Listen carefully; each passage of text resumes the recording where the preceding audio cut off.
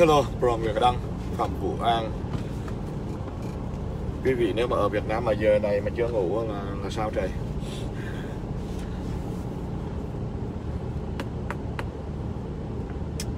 Bên này à, giờ Cali là 12 giờ 12 giờ 30, 35, 36 hay 38 rồi quý vị. Nhưng mà giờ bên này thì cộng thêm 2 tiếng. Tôi đang livestream ở thành phố uh, Rani của tiểu bang Louisiana. Ờ, mới đi qua khỏi um, thành phố Baton Rouge à, vượt cái con sông uh, Mississippi đi qua cái uh, thành phố nhỏ nơi có người Việt làm nghề đánh cá và ở đó cũng khá đông uh, là La Paz uh, được mấy mau tức là đang ở hướng tây của thành phố um, Baton Rouge khoảng uh, khoảng đâu 50 mile dừng đây để ở đây vào biên giới của Texas khoảng 92 mile nữa. Thì chạy hơn một tiếng nữa thì vào cái biên giới của thành phố Texas à, của Texas và Louisiana. À, đến chỗ gần cái biên giới của Texas và Arizona có một thành phố có tên là Billman ở đó đồng bào Việt Nam cũng ở khá đông. À, trước đây họ đa số làm nghề đánh cá đánh tôm có những à, uh, chiếc tàu đánh tôm đó quý vị ở trong vịnh New Mexico và từ đó thì vào ở trong uh, thành phố Houston thì khoảng uh, khoảng chừng 130 hay 150 mao gì đó. Và rồi từ Houston mà về tới à, Los Angeles khoảng chừng uh, 1.500 mile. Thường thường tôi chạy 2 tiếng tân là chạy 2 ngày. Hello Trí Nguyễn. À, Linh Biên mang vài chuyện cho vui có những cái vài chuyện đáng nói chuyện đáng nói thì chuyện nhiều lắm tại vì ờ, là nhiều chuyện lắm. Tại vì mình thuộc loại người là, là loại người nhiều chuyện thấy không? À, tức là mình à, mình là, là xưa giờ là mình là khắc tinh của những cái sự giả dối nó liên quan đến à, cộng đồng xã hội. À, vậy thôi. Không nhận bây giờ mình mới lên tiếng mà trước đây đã lên tiếng rồi. Nếu quý vị nào cách đây khoảng 10 15 năm á, thì có lên à, có lên trên hệ thống Paul Talk á thì biết. À, cái nhân vật tên là Peter Lê chính là tôi. À, chính là tôi. Tôi là một người trong những cái người đầu tiên mở cái diễn đàn chính trị sinh hoạt chính trị ở trên đó. Ờ, à, đó là cái diễn đàn có tên là tiếng nói tự do về dân chủ. À. mà lúc đó thì cái diễn đàn của tôi thì nó open lắm tức là nó mở cửa cho bất cứ nhiều người lắm. Trong đó có nhiều bạn là sinh viên du học có những bạn là đảng viên được học bổng qua ở ờ, Hoa Kỳ.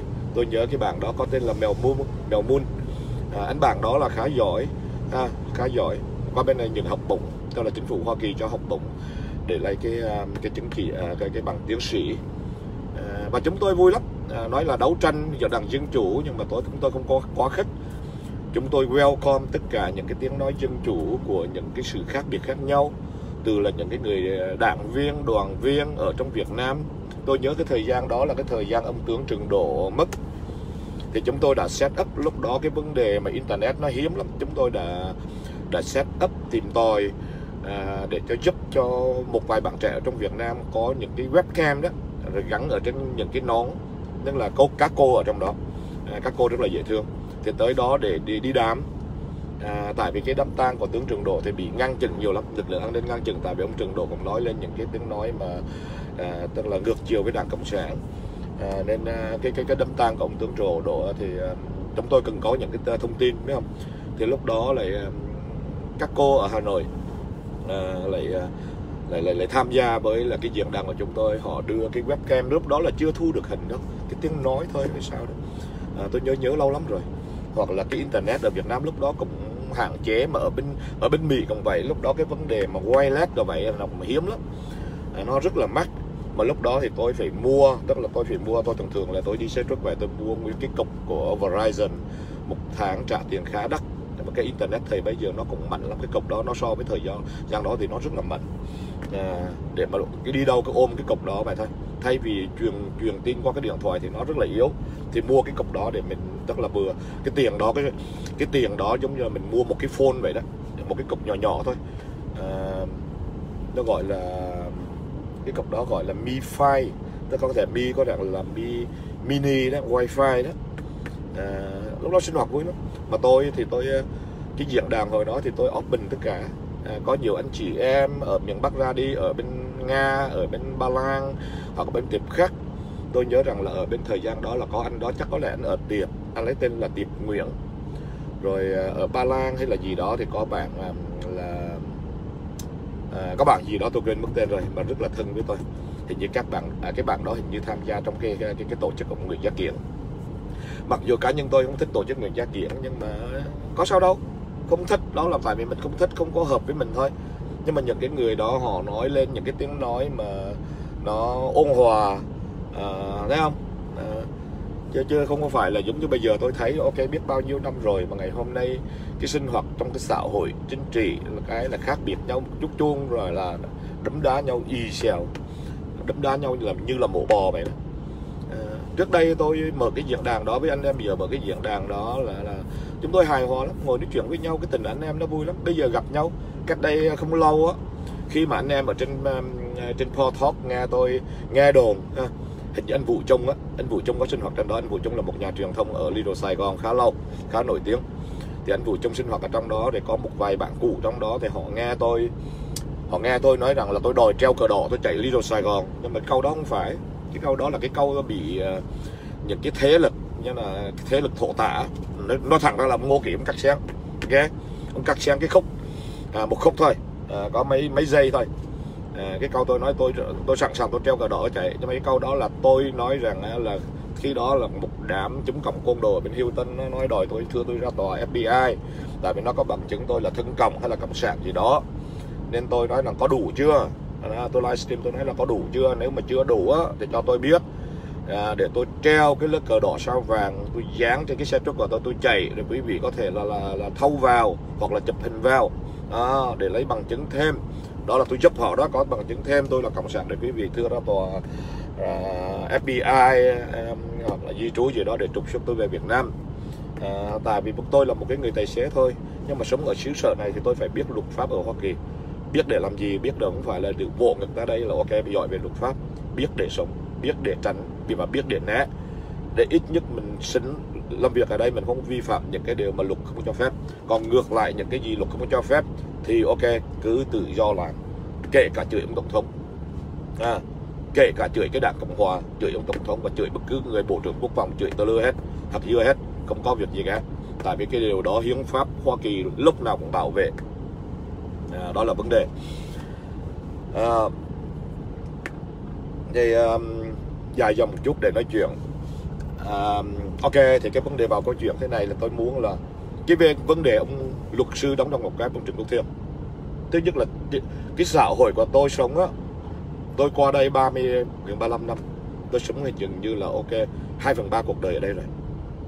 Đó, 2 phần 3 cuộc đời Hoa Kỳ rồi tôi là người Việt Nam tôi sống ít nhiều tôi cũng am hưởng tôi cũng bị ảnh hưởng bởi cái cái nền văn hóa ở đây nền văn hóa xã hội và chính trị ở đây. Tuy nhiên tôi không có phải lấy cái chuẩn mực ở đây để tôi so sánh với Việt Nam tại vì đối với tôi cái vấn đề so đánh sánh đó là cái rất là khập khiễng. Rất là khập khiễng. À, bởi vậy từ xưa đến giờ tôi không bao giờ tôi lấy cái bối cảnh cái xã hội tôi đang sống à, để mà mà, mà, mà, mà, mà, mà, mà so sánh với Việt Nam để mà lên án cộng sản Việt Nam thế này thế nọ như là những người chống cộng. À, nhưng mà mong ước hoài ước thì nó vẫn có.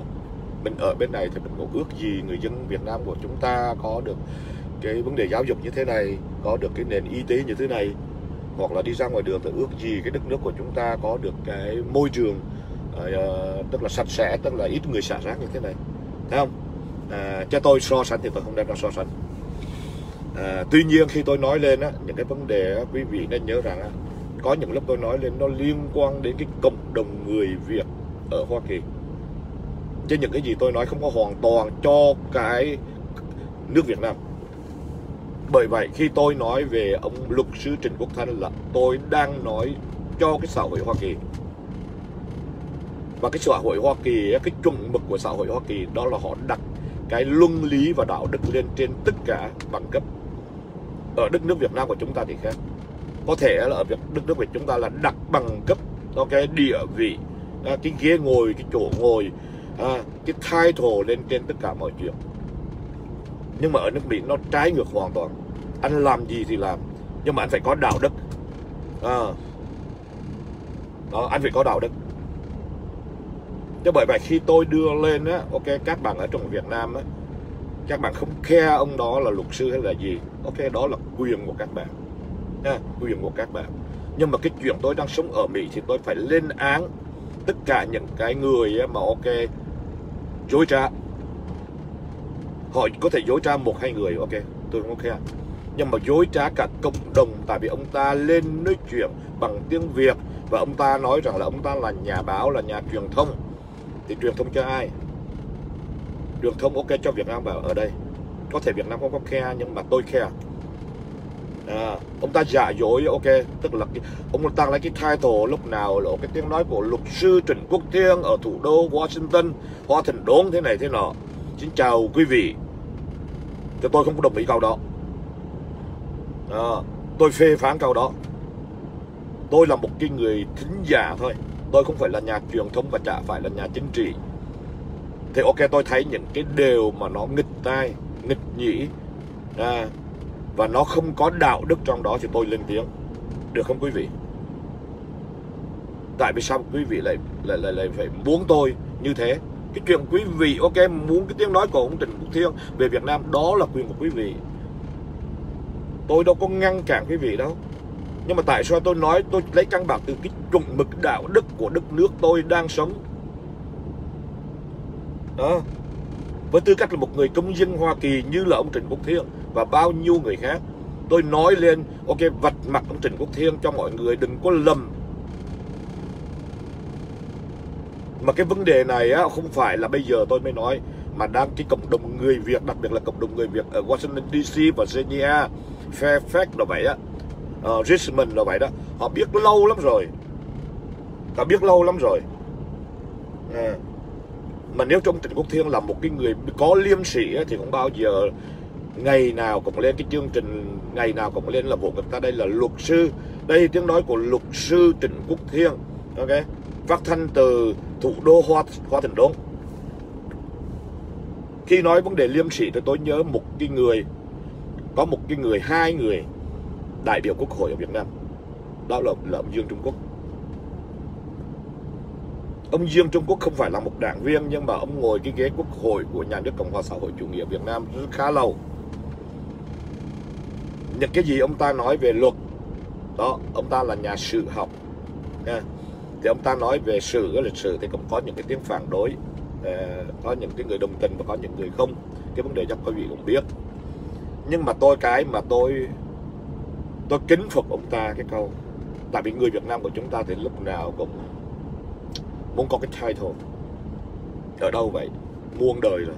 Chưa còn được trước 75 cũng vậy qua bên trại tị nạn cũng vậy qua Mỹ cũng vậy mà hiện tại ở Việt Nam cũng vậy có phải chăng vì cái người Việt của chúng ta vẫn còn mang cái tâm tính xấu đó không tốt đó để ngày hôm nay chưa thoát được à, cái bản tính đó để rồi ok cứ nổ người thiếu úy thì qua bên đây đại úy trong đó có ông cậu tôi mà tôi hôm qua tôi có chia sẻ là ok, ngày hôm qua ngồi với một ông cậu khác ở Miami.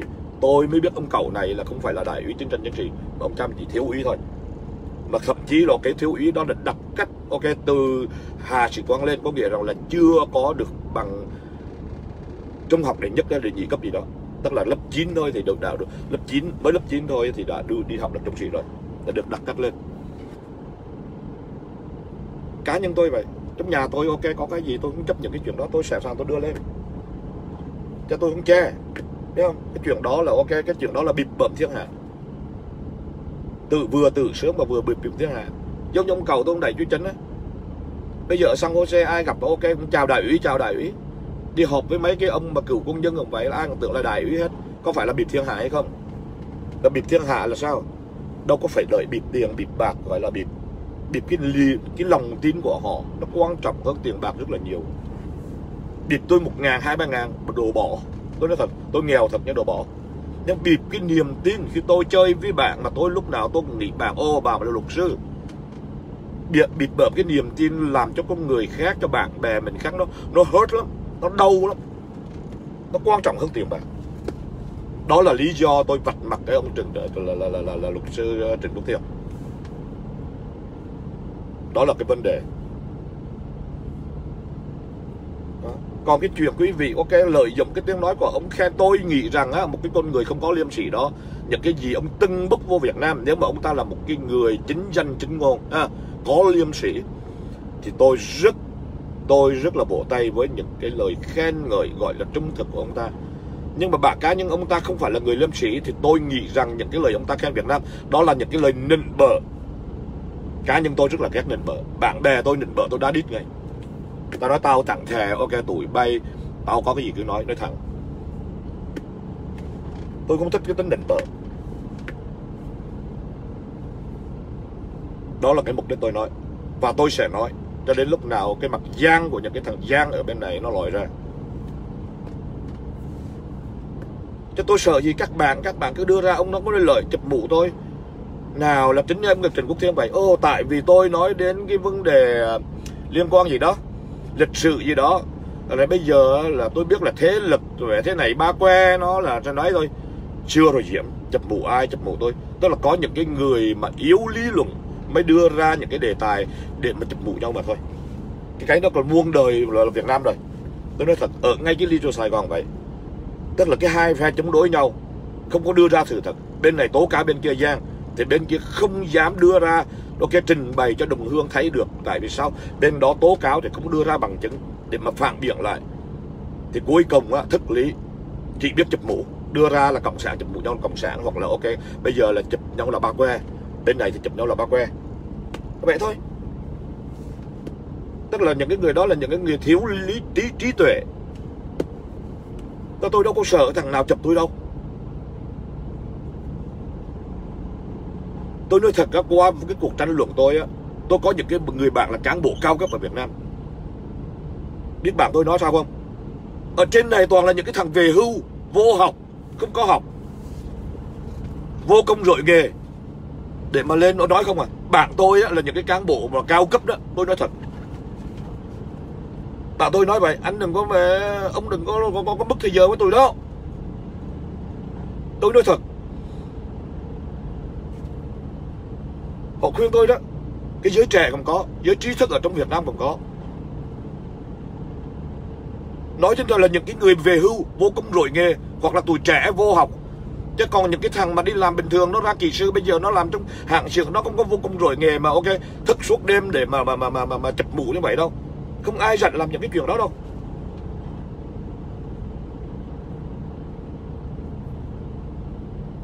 Khi nói đến định quốc thiền ấy, thì tôi cũng nói đến cái nền báo chí cái gọi là nền báo chí tự do và dân chủ của người Việt quốc gia chống cộng ở Hoa Kỳ đặc biệt là ở Lido Sài Gòn. Vừa rồi tôi có treo một cái à, cái chương trình của cô Tạ Phong Tần à, là cái cái chương trình có tên là tôi quên mất rồi.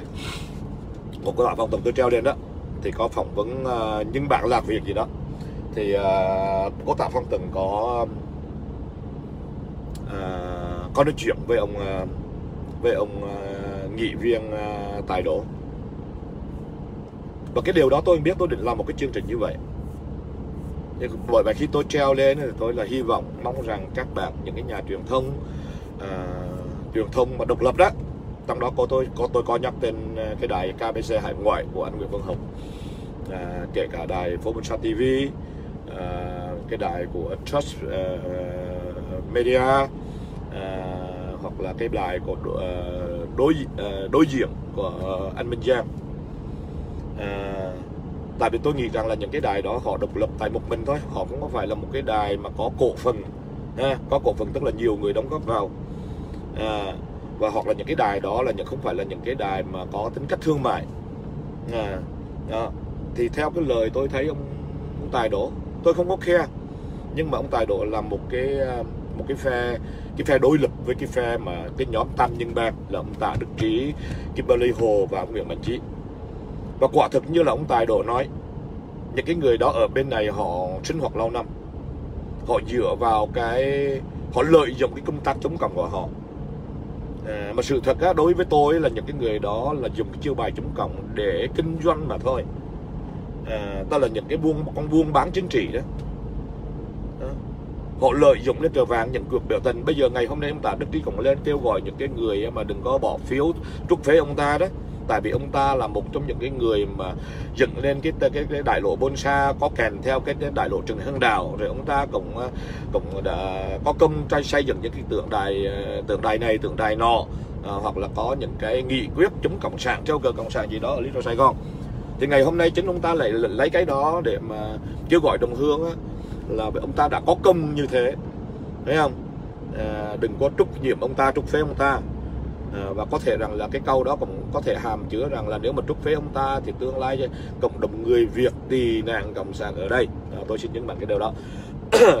Chắc chắn rằng là sẽ không có còn ai như ông ta để ok để chống cộng hay sao đó vân vân và vân vân đối với tôi những cái lời ông tạ đức trí nói lên thì nãy lại lòi ra à, ai tin thì cho tin tôi không có tin. Tôi nghe cái gì thường thường tôi nghĩ ngược lại tôi tìm tòi tôi ngược nghiệp mà tôi nghĩ rằng là những cái đám đó không những cái đám ba người mà trong đó có nhiều người lắm quý vị. Okay. từ ông Trần Thái Văn ha ông Trần Thái Văn cho đến ông luật sư Nguyễn Quốc Lân vân vân. Tức là những cái nhóm đó nó có đồng bọn nó đoàn kết để thao túng. Cho đoàn kết chứ không phải là đoàn kết để mà mà mà mà mà mà mà mà mà, mà, mà, mà, mà, mà hy sinh cái gì to lớn lắm à, và đứng ở dưới những cái cái cái cái cái cái cái, cái, cái trung thực để mà phục vụ người dân tức nói nó chỉ lợi dụng cái chiêu bài chống cộng tại vì nó biết đại đa số những cái người Việt bên này đi qua bên này đều là những người tị nạn cộng sản những cái người đi diện HO thì là những cái người có liên hệ đến Việt Nam Cộng Hòa trước đây ít nhiều họ cũng không thích cộng sản đúng không à, thì họ khai thác những cái yếu tố để kiếm lá phiếu à, để làm những cái công việc gì đó ABCD à, theo cái chiêu bài của họ theo cái, cái, cái, cái, cái kế hoạch của họ vân vân. Thì à, qua nhiều năm nhiều đời thì phải nói rằng là cái những cái nhà truyền thông đóng trong một cách à, mà ngày hôm nay tôi gọi là những cái tờ báo quốc gia thổ tả ở Little Sài Gòn à, đã bị cái nhóm kia mua chuộc sợ sệt cái sợ sệt có đúng hay không? Đúng trăm phần trăm. Giống như tờ báo Việt báo. À, con của bà Việt báo thì bị đưa lên báo y xèo tứ tâm cả cộng đồng Mỹ của toàn quốc nước Mỹ đều biết. Tại cái vấn đề buôn lậu những cái hàng hóa Trung Quốc á mà lên số tiền nhiều triệu đô á, thì à, là, là, là các cái phương tiện truyền thông họ đưa lên hết. Nhưng mà thứ nhất cái tờ báo Việt báo không viết đã đành. Ha tại vì có liên quan đến người thân của họ con họ. Nhưng mà cái tờ người Việt ở đó thì nó đâu có xa đâu đi bộ khoảng 5 phút quý vị. Cũng trên đường Moran. Những cái chương trình SCBN của ông Trúc Hồ. Ha, những cái đài lưu ở Sài Gòn những cái tờ báo khác Việt Mỹ có đăng hay không? Im hết. Ok tự tự bịt mỏ. Ok lúc đó khỏi cần Việt Nam ok cộng sản Việt Nam bịt mỏ mà họ tự bịt mỏ. Đúng không? Họ lên án cộng sản Việt Nam bịt mỏ mà cái hình một cha lý đó nhá đóng ra lên án Việt Nam cộng sản Việt Nam bịt mỏ thì mình đừng có tự bịt mỏ mình. Đó. Như vậy mới hay mới xứng đáng để vỗ tay. Như vậy mới xứng đáng là cái mà quý vị trao cái title cái môn bài của quý vị rằng là tiếng nói quốc gia chân chính tiếng nói đấu tranh tôn trọng thử sự thật không có phe phái. Trời đất họ treo lên những cái dòng chữ mà nghe cái, cái trời nghe cái tiếng rêm quý vị. Như là một bắt được vàng ồ bây giờ phải không? Ít lắm rồi mà cộng đồng người Việt thì đảng cộng sản có được cái, cái tờ báo như vậy như vậy mà tự hào để tự hào với cộng sản Việt Nam chứ. Tại vì ok tất cả sáu bảy trăm tờ báo cả ngàn tờ báo trong Việt Nam đều là cái loa tuyên truyền của cộng sản Việt Nam đúng không? Như là những cái gì mà chúng tôi được nghe. À, nhưng mà sự thật á càng ngày họ càng bét họ phe nhóm họ hèn họ không xứng đáng là một cái cơ quan ngôn luận hoặc một tờ báo. Họ là những cái tờ báo lá cải nhằm mục đích với tiền bạc là chính. Chứ còn ngoài ra những cái gì họ treo lên trên cái báo đó là tiếng nói của người Việt quốc gia, chân thật đấu tranh, đều là bị bợm. Mà cái sự bị bợm đó là bị bợm cuồng chống thì có cần lên án hay không? Quý vị không lên án, tôi lên án. Mà những cái người có có phương tiện mà không lên án á, thì quý vị là những cái đứa hèn. Tôi nói rõ là những cái đứa hèn không xứng đáng là một cái tờ báo không có là không xứng đáng là một cái cơ quan uh, ngôn luận. Hèn sợ. Cái vấn đề làm báo trung thực ở đây không còn là vì nể cả không còn bạn và tôi nữa. Bạn và tôi có thể ngồi đó là cá nhân. Nhưng mà khi bạn làm cái việc công phải biết đặt là công tư phân minh ở trên đó. Bạn làm sai ok bịt bậm nhiều người thì tôi dẹp cái tình bạn qua một bên đó là cái cá nhân tôi sẽ nói. Đó là cái vấn đề tôi nói. Cái vấn đề tôi nói con biên giới đừng có ngạc nhiên. Tôi cũng có phản ai cả. Đó. thì cái vấn đề tôi kêu gọi là những cái người những cái nhà báo như là tôi vừa list ra đó giúp cho phiếu đối lập à, ta làm công đạo đó cho đối đối lập có được cái tiếng nói. Tại vì cái tiếng nói của phe đối bên bên phía ông tài nguyện là vậy đó.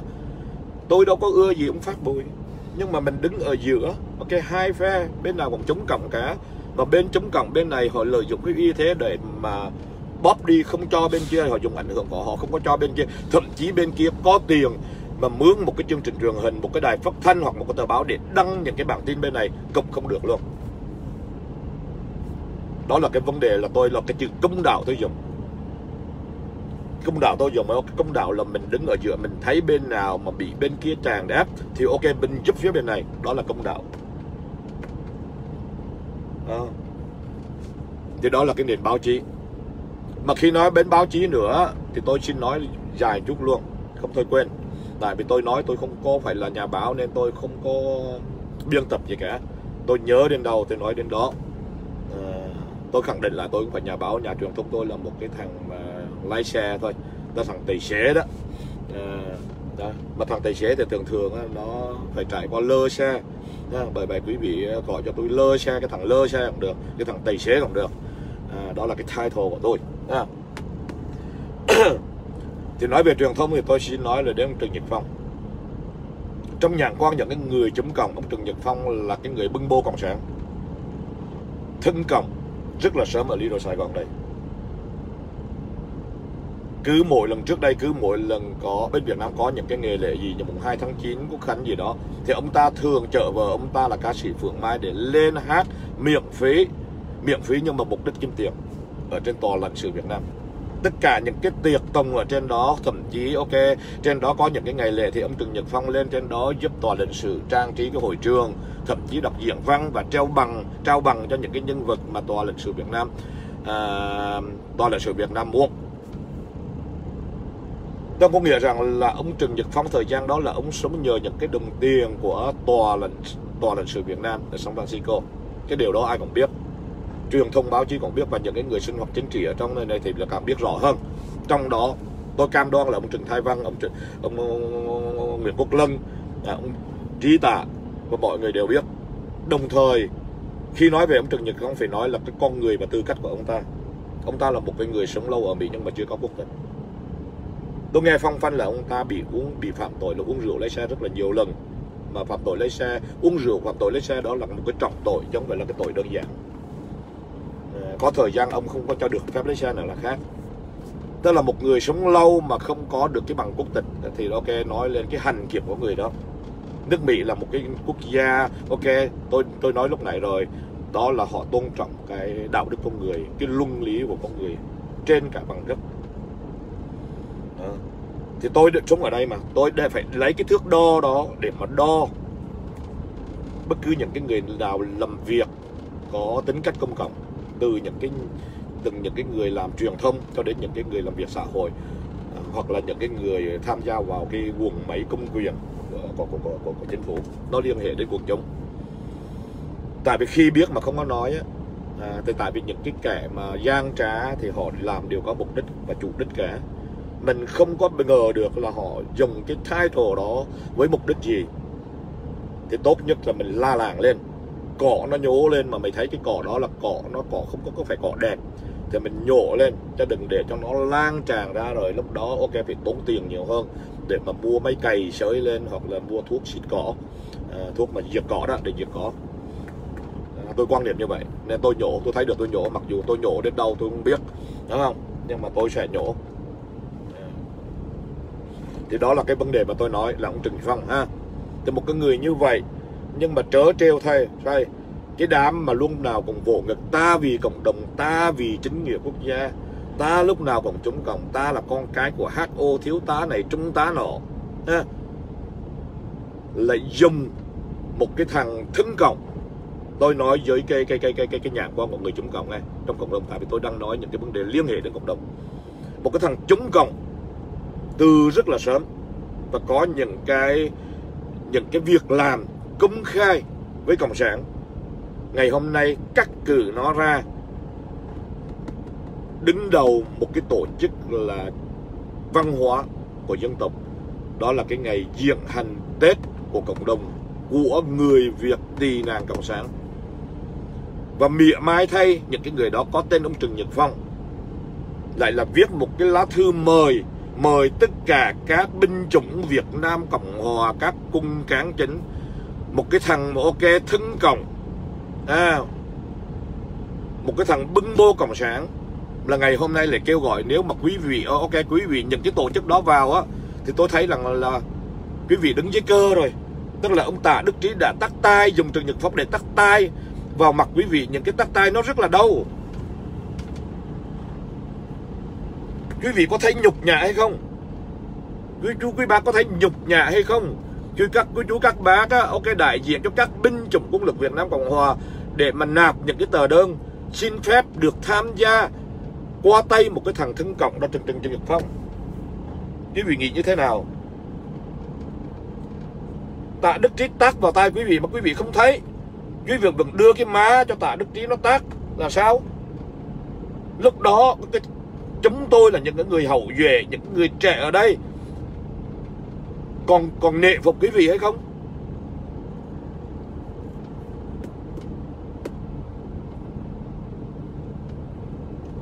Đó là cái vấn đề tôi muốn nói. Mà phải nói rằng là tôi nghe ngóng rất là nhiều người, ok, thầm lặng với cá nhân tôi. Là những cái người là, ok, là những cái người hậu duệ Việt Nam Cộng Hòa đó, tôi không dám nhận tôi là hậu duệ Việt Nam Cộng Hòa. Tôi là người sinh trưởng trong cái chế độ Việt Nam Cộng Hòa thôi tại vì bố tôi ok không có phải cho không có đi lính không đi tráng gì cả. Ngược lại bố tôi còn đi Việt Minh nữa là khác. Đâu bố tôi có đi nhân dân tự về đến tuổi rồi ok trong cái khối tôi họ phát cho cây cabin rồi mẹ đó rồi, rồi, rồi mới lưng lên là tôi còn trộm. Thấy bố tôi đi làm cái tôi xách nhà tôi ra biển tôi xách cái súng ra tôi trộm viên đạn cái bắt đầu tôi bỏ ra tôi xách ngoài biển tôi bắn chim. Đó mấy lần về bị tắt tay bị mấy tắt tay nghe. Rồi ok khi mà nói với ông Trần Nhật Thông phải nói nói đến ông Ngô Kỷ. Cái tiếng nói Ngô Kỷ thì quý vị biết nhầy rồi biết không? Lúc nào bộ ngực ta đây là không có bao giờ thỏa hiệp với cộng sản. Yes ok. Ông nói hay lắm. Không thỏa hiệp. À, ông lúc nào cũng cương quyết là thắp bức vị thân. Ta là người thân ông cộng sản thì ông cũng chém luôn. Yes tôi vỗ tay. À, nhưng mà rồi sao? Ông thừa biết thằng Trần Nhật Phong là ok là cái thành phần như là tôi vừa nói thậm chí ông còn chờ ông Trần vợ Trần Nhật Phong là bà Phượng Mai đi ra phi trường để chạy về Việt Nam hát. Thì cái lời nói của ông lúc nào ông vỗ ngực, ông là ok, cái nòng cốt, ông cái tinh thần chống cộng của ông ghê gớm lắm. Pháp bức vị thân nằm ở chỗ nào? Này chó nó tha mẹ rồi. Thế là ông chỉ mua mỏ, ok? Mua mỏ để cho những cái người cả tin họ tin ông, để cho ông kiếm tiền ông ăn. Đó là cái vấn đề nó có liên quan đến thực động cộng đồng. Ok tôi bây giờ tôi kế tiếp những cái vấn đề liên quan đến báo chí. Liên hệ đến những cái người bạn tôi. Ngày sáng nay tôi mới nghe được một cái một cái clip của người bạn tôi gửi cho rất là sớm. Tôi chưa ngủ thì bạn đó tại vì tôi chạy xe khuya tôi ngủ trễ lắm. Chắc bạn tôi họ cứ gửi qua vậy đó. Họ có cái tin tức gì ok mới là là họ hay gửi qua. À, và tôi xin cảm ơn các bạn ở Lido Sài Gòn thì tôi mới nghe tôi nói à từ từ nghe. Thì tôi nghe tôi cười. Tại vì trước đây á không lâu á, thì ông Khải Đào đó là nhà truyền thông Khải Đào ha tôi nói sọc đúng cái tay rồi đảm bảo và ông ta nói rằng á có clip ông ta nói rằng ông ta đã làm cái ngành truyền thông này ba chục năm nay. Ông đeo đuổi ba chục năm nay. Yes tôi biết cái điều đó nhưng mà cái chương trình của ông nó đến đâu ok nó giá trị đến đâu thì có lẽ rằng là để là độc giả họ đánh giá mặc dù là ông nói rằng là cái chương trình là, uh, tiếng nói tuổi trẻ gì đó diễn đàn tuổi trẻ gì đó ba chục năm uh, tôi không có dám mộ phạm tức là xúc phạm đến cái cái cái cái cái cái cái cái cái, cái, cái chiều dài tức là cái kinh nghiệm làm truyền thông của ông suốt ba chục năm nhưng mà tôi thấy ông còn yếu tức là, là ông vi phạm cái luật báo chí rất là nhiều ai đời một cái là nhà truyền thông phóng ok. Khi mà ấy thì ok, lại mượn dao chém chém chém giặc, chém tôi.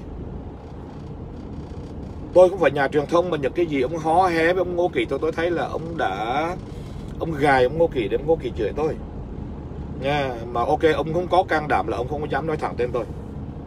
Nói thẳng lên đi, chúng ta đã từng ngồi ăn, từng uống, từng bạn bè với nhau. Nha, chúng ta đã từng bạn bè với nhau. Tôi không có phản bạn bè nhưng mà tôi không, cái tôi là độc giả, tôi có quyền phê phán như độc giả khác.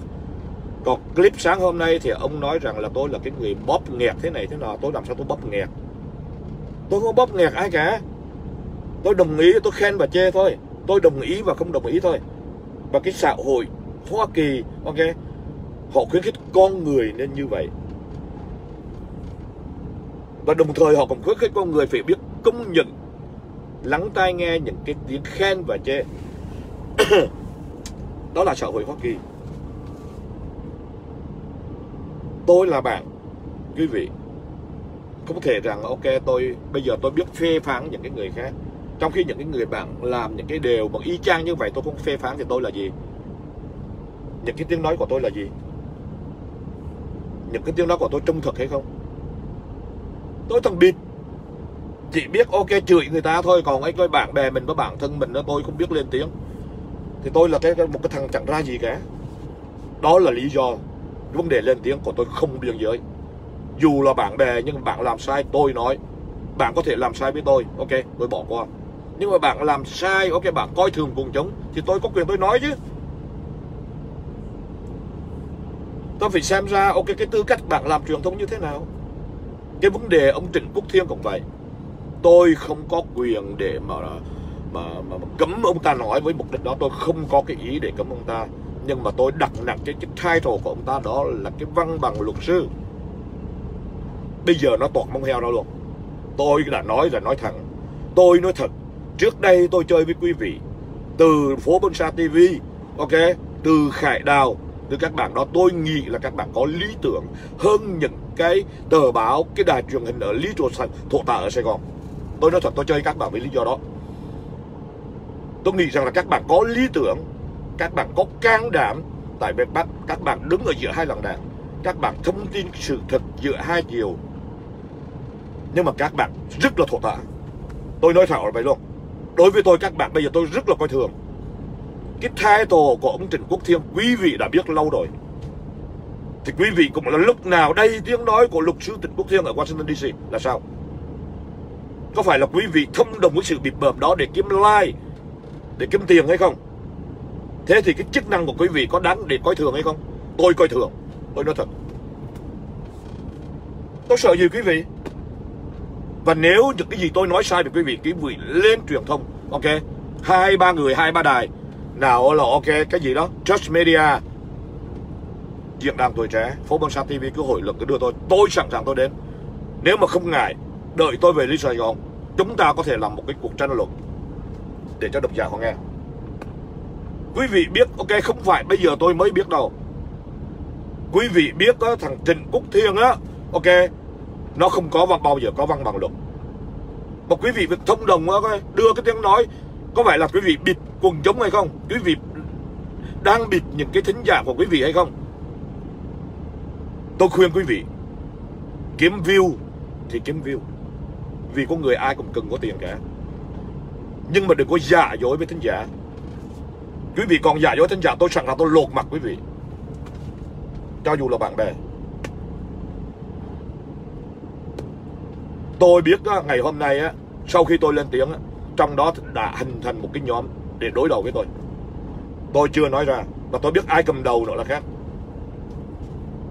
Can đảm đối diện ok lên tiếng đi. Tôi sợ gì quý vị? Cái quan trọng tôi sợ là những cái gì tôi nói sai. Đúng hay sai sai, sai hay không mà thôi tôi mới sợ cái đó. Tôi không có muốn triệt ai cả.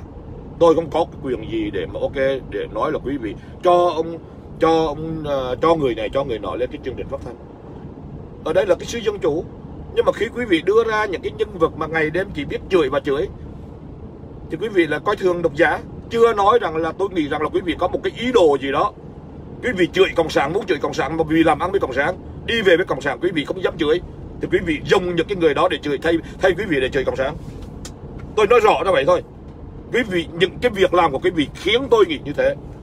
Tôi không chụp mũ. Có phải vậy hay không? Đó là quý vị biết và trời biết. Nhưng mà những cái gì quý vị làm khiến tôi nghĩ như thế.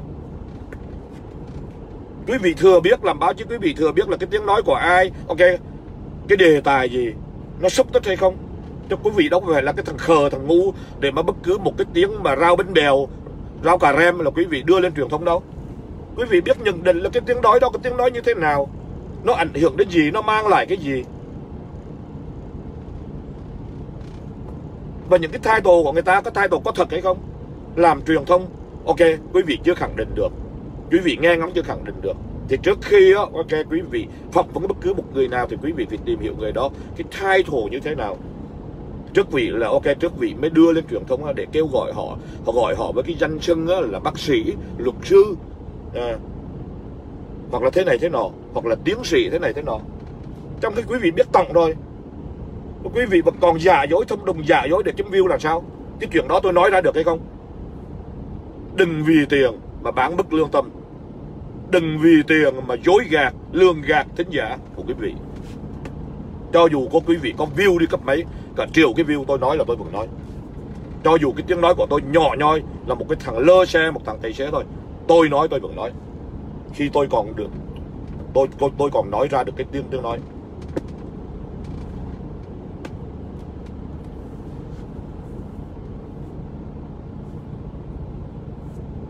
tôi chỉ làm cái livestream lần này luôn, muốn nhắn gửi cái giới truyền thông thổ tả. Bây giờ tôi gom lại là cái thổ tả. Trước đây là tôi nghĩ quý vị là cái truyền thông chân chính có lý tưởng. Bây giờ chả có cái lý tưởng gì cả. Tôi nói rõ như vậy. Vì cái đồng tiền bán rẻ lương tâm hết. Chỉ biết khai thác để kiếm view, kiếm tiền. Bất chấp mọi chuyện. Giả dối và gian trá. Mục đích của quý vị chỉ có view để kiếm tiền, để youtube nó gửi tiền về. Vậy thôi làm truyền thông đó thì như vậy thì bỏ đi dẹp đi. Tôi đồng ý ok giá trị đồng tiền chúng ta cần phải sống. Nhưng mà đừng, đừng để cái đồng tiền ok nó vượt lên trên cái lý tưởng cái chức năng báo chí.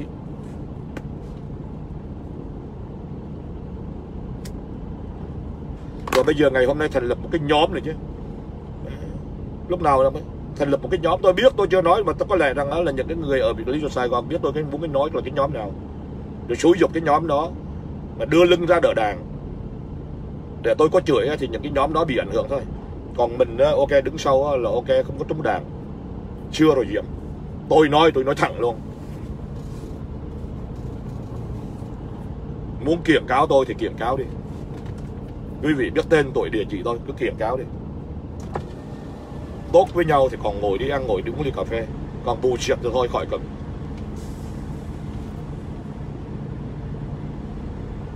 Lúc này tôi đã nói rồi, tại vì tôi chơi với quý vị á, tôi chẳng dựa vào cái hơi hám, tại vì đối với tôi cái nhà báo chả là cái gì cả. Bạn bè tôi có nhiều thành phần lắm.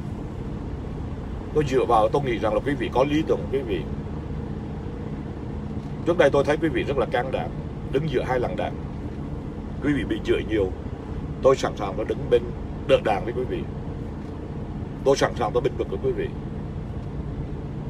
Nhưng mà tôi thấy, ok, cái vấn đề bên này những cái gì tôi những cái gì tôi tưởng và tôi nghĩ nó chả là những cái yếu tố đó, chả có một cái gì yếu tố cả. Quý vị cũng làm truyền thông để bịp bợm thính giả với quý vị vì mục đích kiếm view. Rồi đưa lên, ok, những cái chương trình trời ơi đức hỡi. Cái thằng rau bánh mì nó cũng đưa lên. Cái thằng bán cà rem cũng đưa lên. Nó không có ra gì cả. Đó là coi thường thính giả. Rồi chửi cộng sản không có được á mượn người khác để chửi thay mình. Cứ chửi chứ cho sợ gì? Cứ chửi thì cứ chửi chứ. Cứ chửi thì cái Việt Nam không có cho về Việt Nam nữa là còng chứ có gì đâu. Tại vì sao phải mượn mượn, mượn dao rồi, rồi, rồi người khác để chém làm như gì vậy? Tôi thấy vậy không có anh hùng?